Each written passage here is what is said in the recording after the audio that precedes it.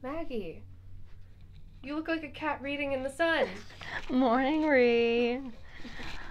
I just finished binging a new TV show on Netflix called Fate the Winx Saga. So I was super into fairies. So, of course, I had to go and find a fairy book that I could binge. And this one sounds utterly amazing. So the main character, Croi, happens to find an, a book of magic from the other world, and it happens to be the land of the higher fae. And then she just feels it. Something pulls her closer and closer to that world, and all of a sudden, she's involved in this dark and dangerous, treacherous path. There's adventure and a little bit of a love story seems to be taking place with her. So I'm very excited as to what's going to happen. And I mean, it's a fairy book. Oh my god.